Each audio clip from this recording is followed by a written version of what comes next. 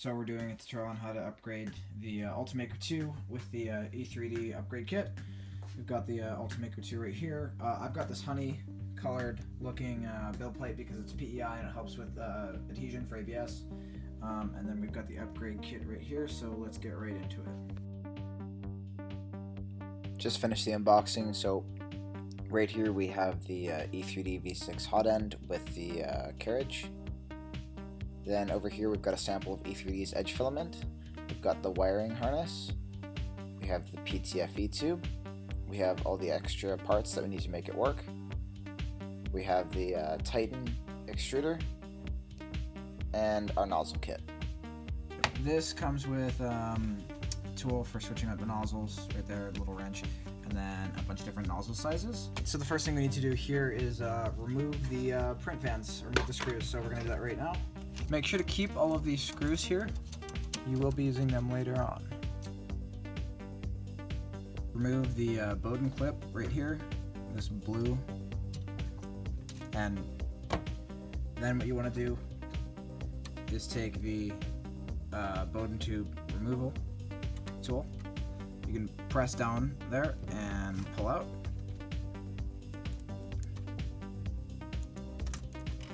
And there you go the Bowden tube is removed. Make sure to hold on to this little clip. The next thing that you want to do is remove all of these uh, long M3 screws. Make sure to keep them for later. So now that you've got this uh, disassembled, you're going to want to uh, pop out this rail here out of the plastic piece, which is right under here. There's a bunch of connections in here that you have to take apart. Going to take your fans right here um, and you want to install them on the included fan shrouds with the old screws that you have. Take your print head, remove these. Make sure you have your hot end oriented just like this.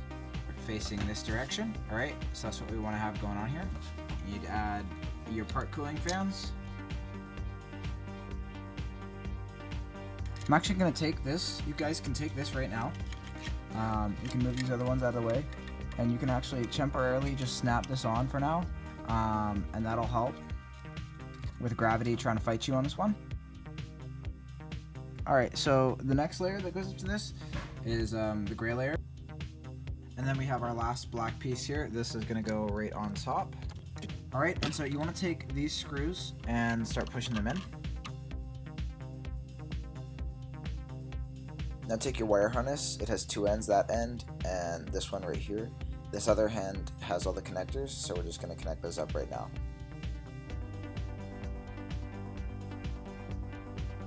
For this part, you want to take a washer and put a washer onto one of the M3 screws and then take a nut and add the nut on and then thread those all the way up until it's tight. Take a pair of pliers and go ahead and tighten that down. You want to make sure these are tight. This print head's going to be moving around, vibrating, etc. Repeat this process for the other three screws. Um, is you want to take a, uh, a, nut, thread that on, and then add on um, washer. Repeat that for the second one over here. Take your uh, print cooling fan and put it right here. You may want to squeeze these two screws together. It helps uh, getting things fitted. And you'll have to move this out of the way too. You have your print cooling fan installed. Uh, you want to add a washer onto the threads and then another nut. After adding the bottom nut, you also want to tighten the top nut with a pair of pliers. Now that the top print cooling fan has been installed, we're going to repeat the process for the bottom print cooling fan.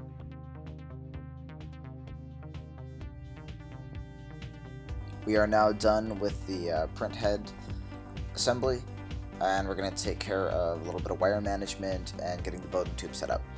Take the mesh from here and cover up these wire headers. So we've got our provided length of PTFE tube. What you want to do is take your PTFE tubing, push it all the way down,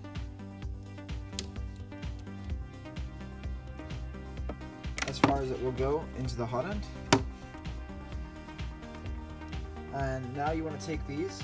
These come off of the uh, the old Bowden tube right over here. So you want to take these. And then what you want to do is get it clipped on. You uh, should repeat that process throughout the entire Bowden tube right here. So there you have it. We've got um, the print head all assembled. The next step for what we're doing here is we're going to be taking uh, the old extruder off and we're going to be putting Titan onto here.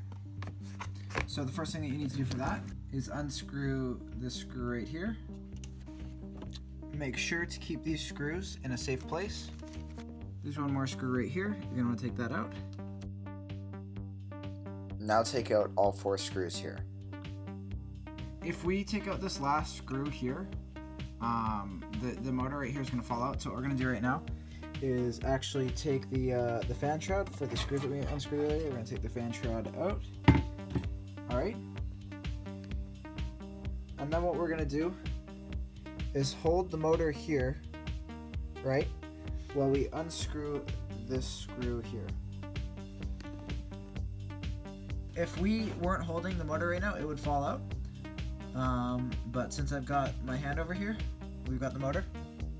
Go ahead and grab your extruder motor and bring that over to the other side. Also, you're going to want to grab uh, this part of the Titan extruder and the smallest M3 screw in this kit. So put that screw right through the hole in the top left hand corner and with the Allen key press through that hole. Bring the motor around to the other side and screw the motor in. So now we got that screwed in. Now we're going to add the Bowden adapter into the Titan and the drive gear.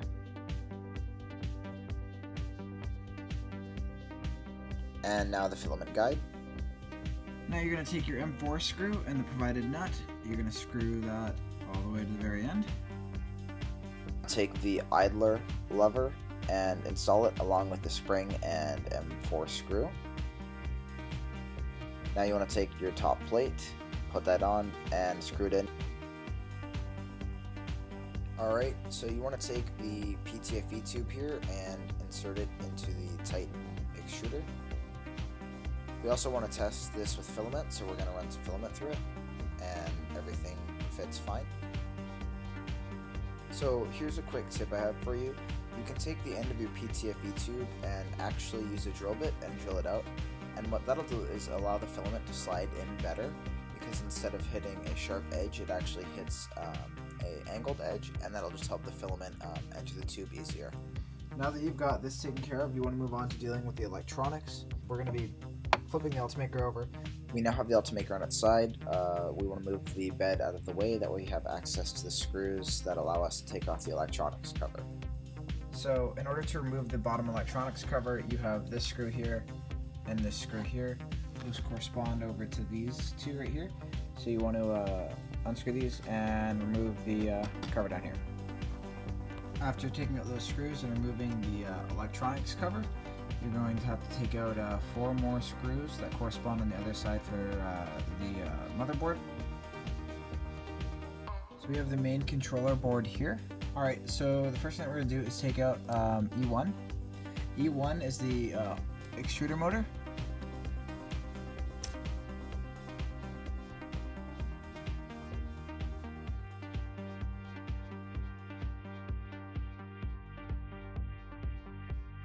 Alright, so what we just did there is uh, we removed some wires. So you can see we've got all the wires out here and now we've got the stepper motor free. So now what we'll be doing is uh, pulling out the old wire harness from the back right over there and putting in the new one.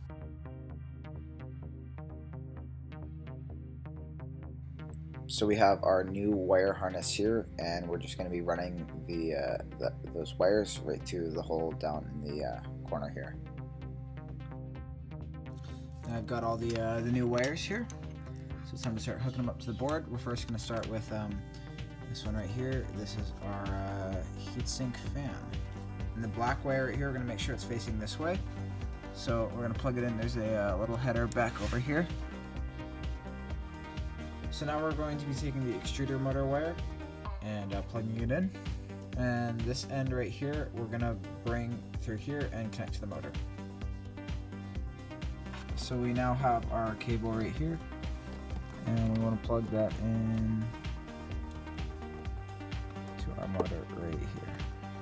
Next connector we have, okay, so we have cooling fans. Cooling fans are gonna go uh, plug in right down here. Now we're gonna take the temperature sensor. This one says hot end temp and plug it into T1. And so the last thing that we're gonna need to do is uh, plug in our heater wires. Alright, so there we go. We've got uh, all of our wires connected. Now it is time to tuck everything back in. After you finish putting the uh, wire cover back on and putting all the screws in, go ahead and head over to your computer to upload the new firmware. Alright, hey what's up guys? So here we have the uh, E3D um, Ultimaker master file. You can download this um, from E3D's website. I'll throw the link in the, uh, the description below. So we're uh, going to go into Cura. Machine. We're going to install custom firmware.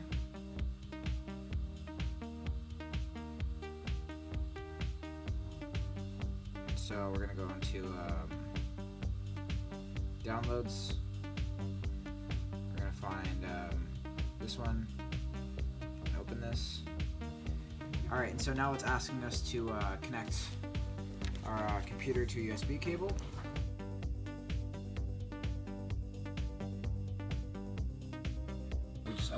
Firmware.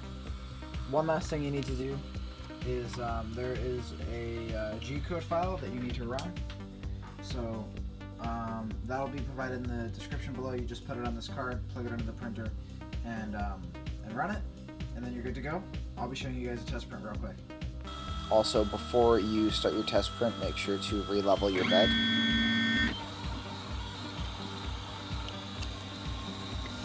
Well, it looks like our work here is done. The printer's printing well.